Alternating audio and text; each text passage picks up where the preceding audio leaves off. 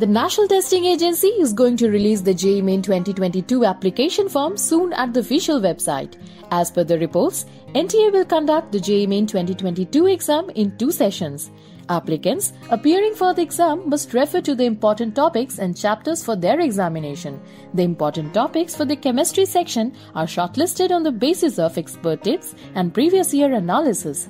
Candidates can also refer to the previous year's papers to ace the exam with a good score.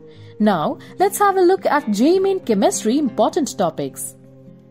First order reaction, solubility and solubility product, magnetic moment on the basis of VBT, how to find hybridization, stereoisomerism, mole concept and molar mass, method of preparation of carboxylic acids, concentration terms, electrode potential and EMF of cells, half-life of first order reaction.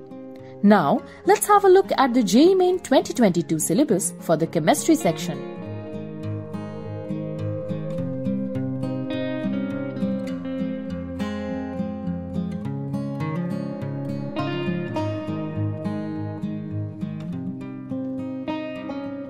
For more details, candidates can check the important links from the description below.